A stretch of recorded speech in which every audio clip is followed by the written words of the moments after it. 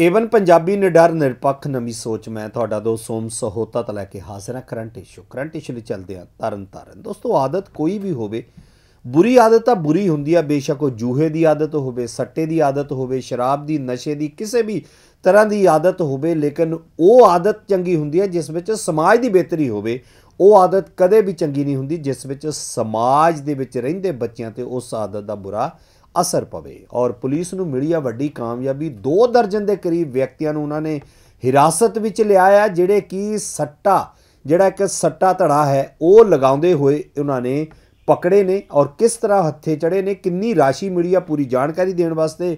ਰਵੀ ਖੈਰਾ ਜੀ ਜੁੜ ਚੁੱਕੇ ਨੇ ਉਹਨਾਂ ਤੋਂ ਅਪਡੇਟ ਲੈਂਦੇ ਆ ਰਵੀ ਜੀ ਕੀ ਅਪਡੇਟ ਹੈ ਇਸ ਖਬਰ ਨੂੰ ਲੈ ਕੇ? ਹਾਂਜੀ ਸਰ ਇਹ ਜੋ ਥਾਣਾ ਸਿਟੀ ਪੁਲਿਸ ਨੇ ਦੜਾ ਸੱਟਾ ਲਗਾਉਣ ਵਾਲੇ ਕਾਬੂ ਕੀਤੇ ਹੈਗੇ ਆ। ਜੀ। ਇਹ ਇੱਕ ਦੁਕਾਨ ਹੀ ਉਹਦੇ ਵਿੱਚ ਇਹ ਦੜਾ ਸੱਟਾ ਲਗਾਉਣ ਦਾ ਕੰਮ ਕਰਦੇ ਸੀ। ਜੀ। ਹਾਂਜੀ ਤੇ ਇਹਨਾਂ ਕੋਲੋਂ ਤਕਰੀਬਨ 22720 ਰੁਪਏ ਜਿਹੜੀ ਰਾਸ਼ੀ ਉਹ ਪ੍ਰਾਪਤ ਕੀਤੀ ਗਈ ਹੈ ਜੀ। ਨਹੀਂ ਕਿਸ ਦੁਕਾਨ ਵਿੱਚ ਲਾਉਂਦੇ ਸੀ? ਕੀ ਮਤਲਬ ਉਹ ਦੁਕਾਨ ਜਿਹੜੀ ਹੈ? ਜੀ। ਦੁਕਾਨ ਬਣੀ ਹੋਈ ਸੀ ਇੱਕ ਤੇ ਉਹ ਦੁਕਾਨ ਦੇ ਉੱਪਰ ਮਤਲਬ ਕੁਝ ਲਿਖਿਆ ਨਹੀਂ ਹੋਇਆ ਹੋਇਆ ਸੀ। ਵੈਸੇ ਹੀ ਮਤਲਬ ਜਿਵੇਂ ਕੁਝ ਨਾਮ ਵਗੈਰਾ ਕੁਝ ਨਹੀਂ ਸੀ ਦੁਕਾਨ ਦਾ ਉਹ ਦੁਕਾਨ ਦੇ ਵਿੱਚ ਹੀ ਉਹ ਇਹ ਧੰਦਾ ਚਲਾ ਰਹੇ ਸੀ। ਔਰ ਪੁਲਿਸ ਨੇ ਗੁਪਤ ਸੂਚਨਾ ਦੇ ਆਧਾਰ ਤੇ ਛਾਪੇਮਾਰੀ ਕੀਤੀ ਸੀ ਜਾਂ ਕੀ ਆਇਆ ਮਾਮਲਾ ਸਾਹਮਣੇ?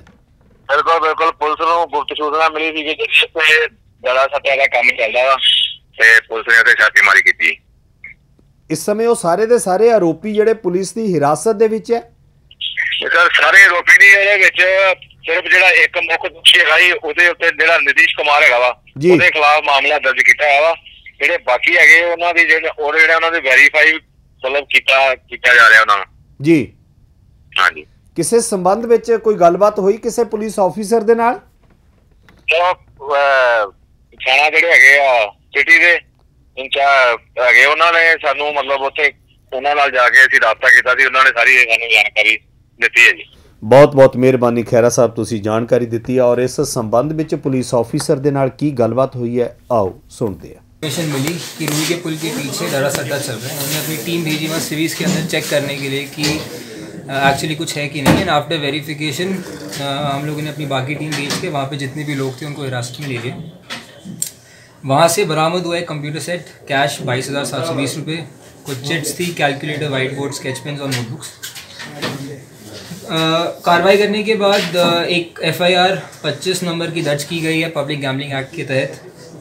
और अ, बाकी अ, जो लोग थे उनको वेरीफाई करके छोड़ दिया गया है वो बेलेबल ऑफेंस है तो अक्यूज भी इज ऑन बेल ਤੇ ਸਰ ਕਿਸੇ ਦੇ ਘਰ ਚੱਲਦਾ ਪਿਆ ਸੀ ਕਿ ਰੋਹੀ ਦੇ ਉੱਪਰ ਕਿਹੜੀ ਸਾਈਡ ਦੇ ਰੋਹੀ ਦੇ ਉੱਤੇ ਕਿ ਜਾਂ ਕੋਈ ਮਹੱਲਾ ਜਾਂ ਕੋਈ ਚੀਜ਼ ये रोही के पास एक दुकान हैगी ਉਹਦੇ ਚ Sir, की उसके दुकान का बीच नाम? में से- दुकान का नाम नहीं सीखा कोई बस वो दु- एक दुकान की जगह बनी हुई है उसके साथ में अ, उसी के अंदर चल रहे हैं कितनी राशि पकड़ी गई वहाँ से कितने, बाईस हज़ार सात सौ बीस कितने लोग थे पच्चीस लोग किसके खिलाफ पर्चा हुआ था दर्ज हुआ? नितिन के अगेंस्ट पर चल आगे की क्या कार्रवाई हो रही है आगे की कार्रवाई यही है कि हम अ, और वेरीफाई करेंगे और इसकी जो केस डायरी है उसको फटाफट कंप्लीट करके इसका चलान पेश किया जाएगा ਆਦਤ ਜਿਹੜੀ ਬੁਰੀ ਹੈ ਕੋਈ ਵੀ ਹੋਵੇ ਕਿਉਂ ਨਾ ਹੋਵੇ ਜਿਸ ਦਾ ਸਮਾਜ ਦੇ ਵਿੱਚ ਗਲਤ ਮੈਸੇਜ ਜਾਂਦਾ ਹੈ ਉਸ ਤੇ ਕਾਬੂ ਕਰਨਾ ਉਹਨਾਂ ਲੋਕਾਂ ਨੂੰ ਕਾਬੂ ਕਰਨਾ ਉਸ ਤੇ ਕੰਟਰੋਲ ਕਰਨਾ ਇਹ ਬਹੁਤ ਵੱਡੀ ਗੱਲ ਹੈ ਔਰ ਖੈਰ ਪੁਲਿਸ ਨੂੰ ਬਹੁਤ ਵੱਡੀ ਪ੍ਰਾਪਤੀ ਹੈ ਔਰ ਉਹ ਇੱਕ ਸ਼ਖਸ ਦੇ ਖਿਲਾਫ ਉਹਨਾਂ ਨੇ ਮਾਮਲਾ ਦਰਜ ਕੀਤਾ ਹੈ ਔਰ ਬਾਕੀਆਂ ਦੇ ਖਿਲਾਫ ਜਿਹੜੀ ਜਾਂਚ ਹੈ ਉਹ ਜਾਰੀ ਹੈ।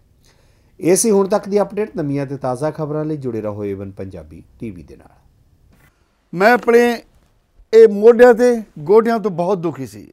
ਮੇਰੇ ਲਈ ਤਾਂ ਤੁਰਨਾ ਫਿਰਨਾ ਵੀ ਇੰਨਾ ਔਖਾ ਹੋਇਆ ਸੀ, ਮੈਂ ਦੱਸ ਵੀ ਨਹੀਂ ਸਕਦਾ। ਪਰ ਜਦ ਤੋਂ ਮੈਨੂੰ ਫੀ ਰਿਲੀਫ ਮਿਲਿਆ ਢਾਈ ਤਿੰਨ ਮਹੀਨੇ ਇਸਤੇਮਾਲ ਕਰਨ ਤੋਂ ਬਾਅਦ ਗੋਡੇ ਵੀ ਓਕੇ ਮੋਢੇ ਵੀ ਓਕੇ ਜੇ ਤੁਸੀਂ ਵੀ ਕਿਸੇ ਇਸ ਤਰ੍ਹਾਂ ਦੀ ਬਿਮਾਰੀ ਤੋਂ ਪਰੇਸ਼ਾਨ ਹੋ, ਤੇ ਬੇਸਹਾ, ਬੇਝਿਜਕ ਹੋ ਕੇ ਇਸ ਨੂੰ ਇਸਤੇਮਾਲ ਕਰੋ। ਸਿਰਫ ਢਾਈ ਤਿੰਨ ਮਹੀਨੇ, ਇਹ 125 ਬਿਮਾਰੀਆਂ ਤੱਕ ਦੇ ਇਲਾਜ ਕਰ ਸਕਦਾ ਹੈ। ਫੀ ਰਿਲੀਫ ਹਮੇਸ਼ਾ ਯਾਦ ਰੱਖੋ ਬਸ। ਕੁਝ ਦਿਨਾਂ ਤੋਂ ਮੈਨੂੰ ਬਾਲਾਂ ਦੀ ਬੜੀ ਸਮੱਸਿਆ ਸੀ। ਮੇਰੇ ਬਾਲ ਝੜਨੇ ਸ਼ੁਰੂ ਹੋ ਗਏ ਸੀ। ਮੈਨੂੰ ਮੇਰੇ ਦੋਸਤ ਨੇ ਆਇਲ ਫੀ ਰਿਲੀਫ ਵਾਲੇ ਦੱਸਿਆ। ਮੈਂ ਇਹ ਤੇਲ 3 ਕੁ ਮਹੀਨੇ ਲਾਣਾ ਆਪਣੇ ਸਿਰ ਤੇ ਅਪਲਾਈ ਕੀਤਾ। ਇਹ ਬਿਲਕੁਲ ਆਯੁਰਵੈਦਿਕ ਤੇਲ ਹੈ, ਇਹਦਾ ਕੋਈ ਸਾਈਡ ਇਫੈਕਟ ਨਹੀਂ ਹੈ। ਤੇ ਮੇਰੇ ਵਾਲ ਜਿਹੜੇ ਗੰਜਪਣ ਪੈਣਾ ਸ਼ੁਰੂ ਹੋ ਗਿਆ ਸੀ, ਉਹ ਦੁਬਾਰਾ ਆਉਣ ਲੱਗ ਗਏ।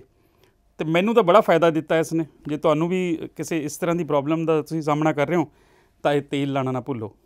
ਕਿਤਨਾ ਕਿਤੇ ਅਸੀਂ ਆਪਣੇ ਬਾਲਾਂ ਕਰਕੇ ਸ਼ਰਮ ਫੀਲ ਕਰਦੇ ਹਾਂ ਕਿ ਤੀ ਸੁਸਾਇਟੀ 'ਚ ਬੈਠੇ ਕਿ ਕੋਈ ਮਜ਼ਾਕ ਨਾ ਕਰ ਰਿਹਾ ਹੋਵੇ ਪਰ ਥੈਂਕਸ ਟੂ ਫ੍ਰੀ ਲੀਵ ਜਿਨੇ ਮੇਰਾ ਇਹ ਕੌਨਫੀਡੈਂਸ ਬਿਲਡ ਕੀਤਾ, ਜਿਹਦੇ ਲਗਾਨ ਨਾਲ ਮੈਂ ਮਾਰਕੀਟ 'ਚ ਹੁਣ ਬੜਾ ਹੀ ਕੌਨਫੀਡੈਂਟ ਹਾਂ। ਔਰ ਇਹਦੇ ਨਾਲ ਮੈਨੂੰ ਬੜਾ ਫਾਇਦਾ ਹੋਇਆ ਤੇ ਮੈਨੂੰ ਸਰਵਾਈਕਲ ਦੀ ਵੀ ਦਿੱਕਤ ਸੀ ਤੇ ਉਹਦੇ ਨਾਲ ਵੀ ਮੈਨੂੰ ਬੜਾ ਰਿਲੀਫ ਮਿਲਿਆ। ਇਹ ਯੂਜ਼ ਕਰੋ ਤੇ ਮੈਂ ਪ੍ਰੈਕਟੀਕਲ ਯੂਜ਼ ਕਰ ਰਿਹਾ।